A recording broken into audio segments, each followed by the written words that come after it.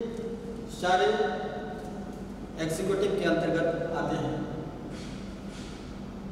Third जो branch है, वह है जुडिशियरी न्यायपालिका। It mean it makes sure that the legislative works according to the laws and the constitution judiciary का काम है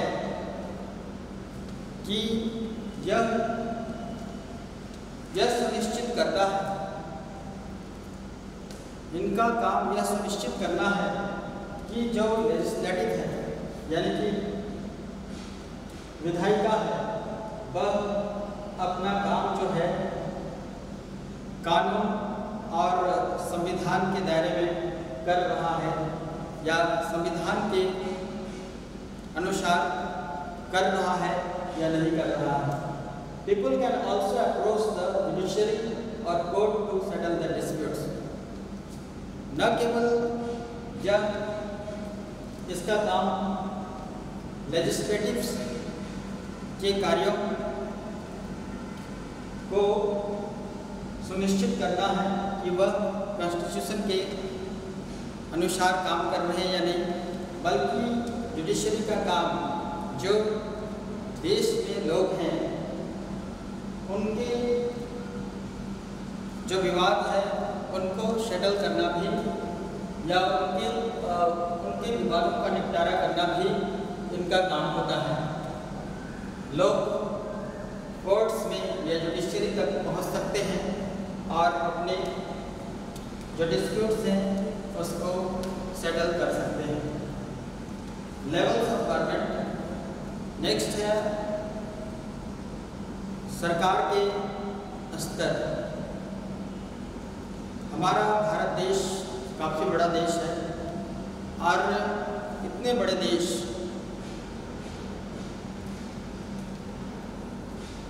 जो कि कई राज्यों में बटा हुआ है। तो इतने बड़े देश को गवर्न करना एक ही सरकार से संभव नहीं हो पाता। और इसलिए इन्हें स्टेट गवर्नमेंट या लोकल गवर्नमेंट की ज़रूरत पड़ती है, यानी कि सरकार के स्तर बनाए जाते हैं, ताकि हमारा देश अच्छी तरह से फ़ंक्शन कर सके, अच्छी तरह से अपना काम कर सके। तो हमारे देश में जो सरकार के लेवल्स हैं, वो तीन लेवल हैं। पहला है द यूनियन और सेंट्रल गवर्नमेंट यानी कि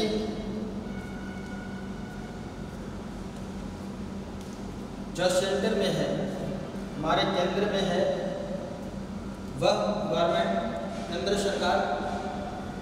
और यह केंद्र सरकार का काम पूरे देश का टेक केयर करना और नेशनल लेवल पर फ़ंक्शन करना होता है। तो यह नेशनल लेवल पर हमारा केंद्र सरकार काम करता है। काम करती है। सेकेंड है आपका द स्टेट गवर्नमेंट जो स्टेट गवर्नमेंट है, यह अपने राज्य के मामलों के को, देखरेख करती है। उसके बाद है third the local government functions at the local level both in rural and urban areas. तो आपने देखा कि तीन जो स्तर है सरकार के, जो केंद्र सरकार है, वो केंद्र लेवल पर या नेशनल लेवल पर काम करती है। जबकि जो स्टेट गवर्नमेंट है, जैसे कि आपका बिहार स्टेट और यहाँ की सरकार, अपने स्टेट को टेक केयर करती है। और उसके बाद लोकल गवर्नमेंट में दो तरह के एरियाज़ आते हैं। पहला है आपका रूरल और दूसरा है आपका अर्बन एरिया रूरल एरियाज़ में जो है जो जिला पंचायत होते हैं, या ग्राम पंचायत होते हैं, या तालुका पंचायत होते हैं, ये सारे लोकल गवर्नमेंट के अंतर्गत आते हैं। और अगर अर्बन एरियाज़ की बात करें तो जो म्यूनिसपलिटीज़ हैं, वो इसके अंतर्गत आते हैं। तो इस प्रकार से हमारा जो लेवल ऑफ़ गवर्नमेंट है वह तीन स्तर पर काम करता है। हमारा जो गवर्नमेंट है, वह तीन तीन स्तर पर काम करती है और हमारे देश को हमारा देश सुचारू रूप से अच्छी तरह से चल पाता है। इसके आगे नेक्स्ट वीडियो में